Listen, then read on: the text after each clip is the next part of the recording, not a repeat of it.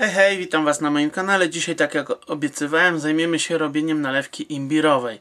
Ale zanim przejdę do samego robienia nalewki, które jest banalne, bardzo proste, w tym przypadku, ponieważ nie będę korzystał z żadnego spirytusu, tylko z wódki i proporcje są proste, Przede wszystkim jest to nalewka lecznicza, ale zanim do tego przejdę, chciałem Wam trochę powiedzieć o nalewkach. Kwintesencją robienia nalewek jest cierpliwość, ponieważ ona musi nam dojrzeć. Musimy przeczekać ten moment krytyczny, kiedy już mamy ochotę spróbować, kiedy już wiemy, że jest do napicia się, że jest już taka, że można jej spróbować. Przeczekajmy to. Jak Wam się to uda, zobaczycie, że rezultaty są wyśmienite. Ja wielokrotnie sam siebie tutaj próbowałem przekonać, że warto poczekać. Albo dawałem znajomym na przechowanie, żeby mi schowali przede mną te moje nalewki, dlatego że one są bardzo dobre. Jest to bardzo dobra rzecz. Tylko, że jak ona jeszcze po, poczeka, dojrzeje, poleży, poleżakuje, naprawdę robi się świetna.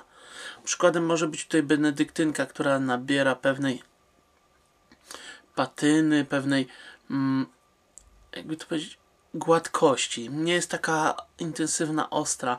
E, w tym smaku to wszystko jest bardzo fajnie wszystko jest bardzo fajnie wyrównane trzyma swój poziom, żaden smak nie dominuje. I tak samo spróbujemy tutaj. Tą nalewkę robię tak naprawdę na potrzeby doraźne. Z nią nie będę czekał.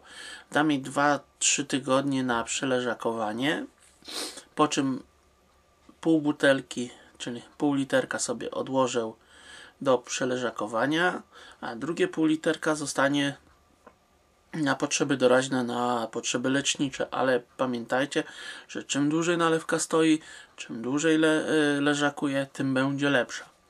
Dobrze, opowiem Wam troszkę o tej mojej nalewce imbirowej, jak ja ją robię.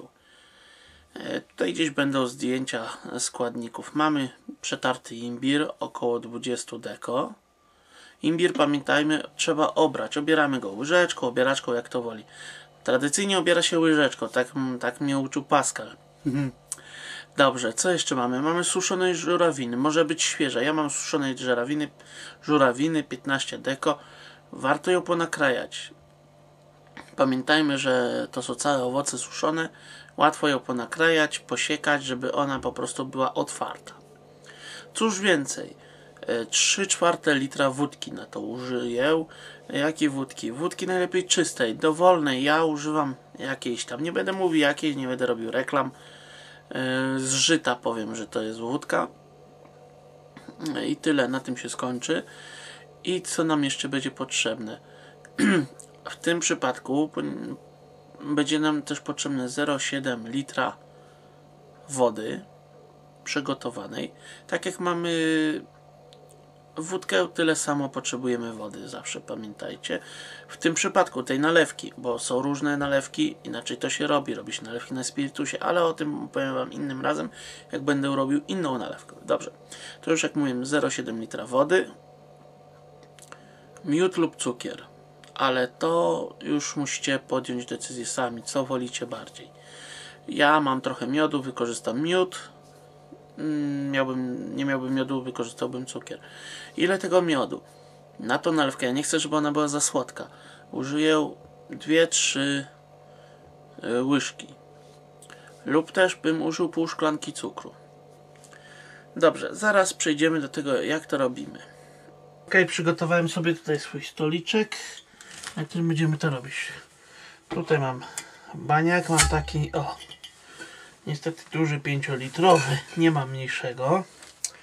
Dobrze, od czego zaczniemy? Spróbujemy upchać tam imbir do środka przy pomocy mm, nie wiem, będzie to pewnie duży bałagan. Najpierw to tak o może tak na sam przód włożę takie o kawałki po ścieraniu zostaje, bo to włókna. Strasznie się ten imbir rozwłóknia, jak się go tam ściera. Um. Dobra, wiecie co? Spróbujmy przez ten lejek. Zobaczymy jak nam to pójdzie.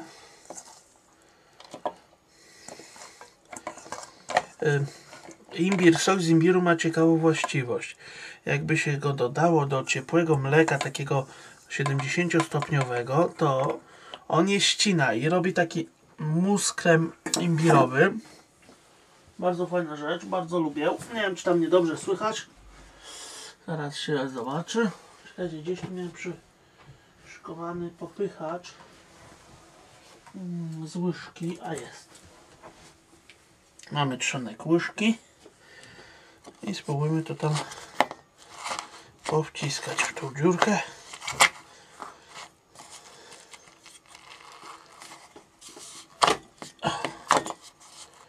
Na szczęście wchodzi. Bez większych oporów. Mhm. Już coś popsułem. Za dużo siły.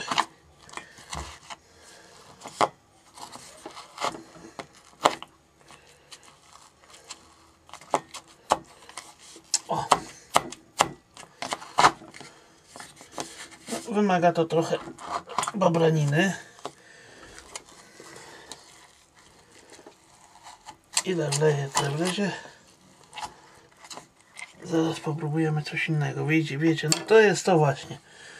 Mm. Kiedyś miałem taki szeroki, specjalny lejek do gąsiorków, ale gdzieś mi się zapodział i nie mogę go znaleźć. Chyba go zostawiłem w domu rodzinnym. Dobra, tutaj jakoś tak powkładamy. Najważniejsze, że sok spłynął, ten co był w misce lejkiem, a tu to co zostało, to się tak włoży. Mhm. I ostatni kawałki imbiru. Dobra, imbir już mamy włożony. Wkładamy lejek z powrotem. Dobra, teraz żurawina. Żurawina szczęście jest mniejsza i będzie prościej ją tam um, wcisnąć w tą dziurkę. I ponownie mój wierny drążek. Trzonek od łyżki. I tak wkładamy to tę żurawinę i przy okazji ją trochę rozgnieciemy, to też jest dobrze. Właśnie tak o, wkładać ją tam do środka tym sposobem. Można też użyć cytryny, ale już dla mnie to by było zbyt kwaśne, bo i żurawina kwaskowata, imbir ostry. Ale zobaczymy jak to będzie wszystko fajnie, jeżeli jakoś to tak będzie fajnie współgrało ze sobą wszystko, cały ten zestaw tych, tej, tych żurawiny i imbiru, to nie będę ruszał tego. Jeżeli się okaże, że po tygodniu spróbuję i jest to mm, dziadowsko smakuje, coś nie tchalo, za ostro, wtedy dodam jakiś cytrusów albo albo pomarańcza, albo khaki. Khaki fajny owoc, nie wiem czy się spotkaliście. Smakuje trochę jak gruszka, tylko troszkę mm, ma smak gruszki, a konsystencję hmm, chyba bym powiedział brzoskwini, jakiś taki śliwko brzoskwini. Jest bardzo fajne, bardzo mi smakuje i właśnie on się nadaje do złagodzenia smaku imbiru.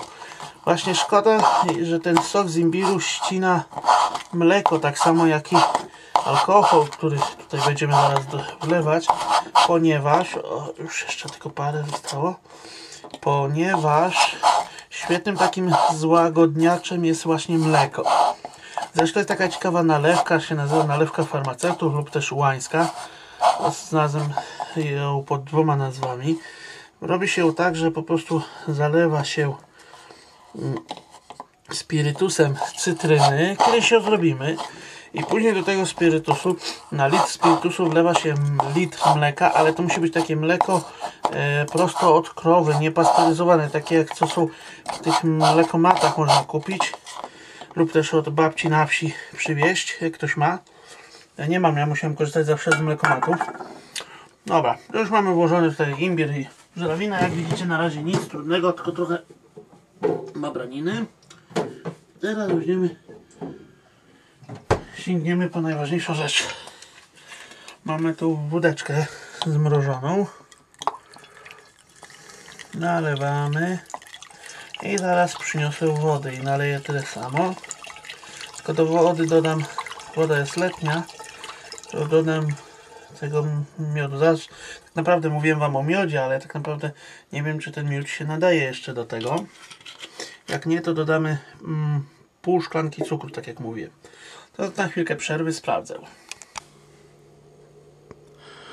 Ok, sprawdziłem. Okazało się, że jednak kiepsko u mnie z tym miodem miód się mm, skrystalizował tak, że ciężko go rozpuścić. Więc użyjemy pół szklanki cukru. Tak sypię na oko, to nie ma nie musi być to co precyzyjnie, to nie jest żadna konkursowa mm, nalewka taka, która musi być zgodnie z receptuarem. Więc sobie. I tutaj mam, to nie jest już wódeczka, tylko jest woda w butelce, tak jak mówiłem, od wódeczki, żeby nam było łatwo mm, odmierzyć dobrą ilość wody. Tak jak więc mniej więcej naleweczka będzie miała 20 20 parę procent, 20, 18 do 22. Skąd to wiem? Ponieważ wódeczka miała 40%, dodajemy drugie tyle wody, procent zmniejsza się o połowę. Mniej więcej tak to działa. Ja lubię takie mniej właśnie procentowe naleweczki. 20% jest całkiem fajna. Co prawda musi się ona dłużej, że jak to mówię, przeżerać, ale że imbir mm, i żurawina należą do składników, e, jakby to powiedzieć, intensywnych w smaku. Tak więc y, nie wymagają one aż takiego dużego procentażu, żeby zrobić ekstrakt z nich, czyli nalewkę po prostu.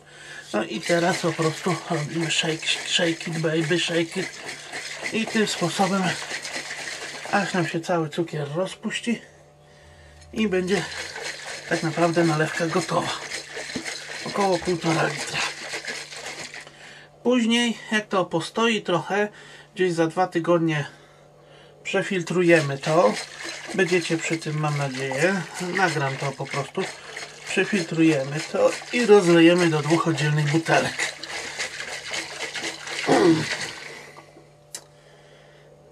Tak to wygląda. Nie apetycznie, prawda? Po prostu taki bełt. Ale przysięgam Wam, jest to świetne, jak to się wszystko przegryzie. Ta żurawina odda trochę tego koloru w sobie i będzie pycha. Jak widzicie, nie jest to do końca nalewka. To znaczy, to jest taki trochę bełt z wódki, wody, imbiru, żurawiny i cukru. Ale będzie świetne. Naprawdę. Znaczy, nie wiem jak ta żurawina się zachowała. Mam nadzieję, że odda trochę kolor. Ponieważ pierwszy raz robię żurawiną, zawsze robiłem z cytryną ale taki właśnie miałem pomysł, że może odda kolor. Problem polega na tym, że ja tutaj robiłem to na 20%, prawda, więc wódka plus woda, a więc ten kolor może trudniej schodzić, ale zobaczymy jak to będzie. Wiadomo, można było to zrobić z samą wódką albo na spirytusie, żeby zrobić to na 70%, można to zrobić na, 3, na, na 70%, później dodać syropu cukrowego, to wszystko będzie powiedziane przy innych nalewkach, przy takich prawdziwych nalewkach, a nie czymś takim na szybko, co tak naprawdę ma służyć jako lekarstwo. Nie da przyjemności, to piję, tylko jak zaczyna mnie gardło boleć, jak zaczynam mieć kłopoty, piję to kieliszek rozgrzewający przed snem i jest zajebioza. Dobrze. Y, co się z tym dalej będzie działo? Wsadziłem to w ciemne miejsce, od czasu do czasu będę mieszał, za dwa tygodnie to przefiltrujemy. Butelka pójdzie do odleżenia, zobaczymy jak to będzie po leżakowaniu smakować. Butelka będzie na, na, na, na użytek codzienny. Teraz idę robić e, obiad, później sobie jeszcze recenzję herbaty, porozmawiamy na ten temat y, troszkę. Też będę nagrywał materiały do Don't Starve, już jest Don't Starve nagrany, tylko właśnie to takie gadanie w okienku mm, dogrywam, bo ciężko mi tak za kupą siedzieć i nagrywać, ponieważ nie mam dobrego mikrofonu, to raz.